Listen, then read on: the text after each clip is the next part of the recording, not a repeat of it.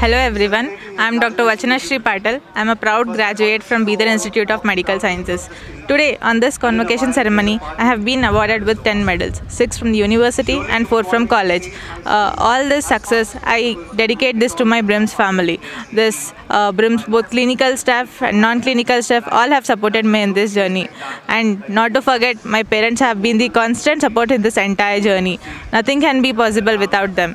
And I completed my PUC from Shaheen College. Uh, Dr. Abdul Qadeer sir has played an important role in my life. Apart from motivating me in my college days, he has been a constant support throughout this journey.